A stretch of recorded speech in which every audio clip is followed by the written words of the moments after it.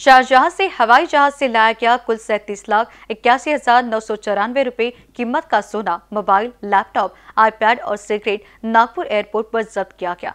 इतना ही नहीं, दो हवाई यात्रियों को भी गिरफ़्तार किया गया।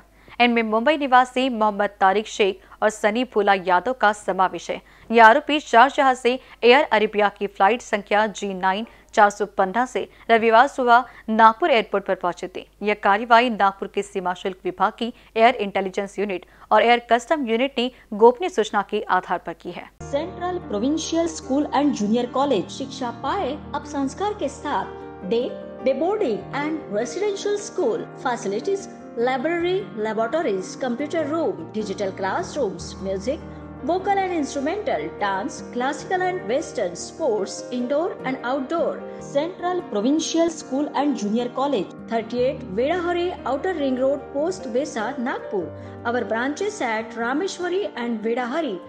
Contact number 7276066999 and 7276055999. Central Provincial School and Junior College.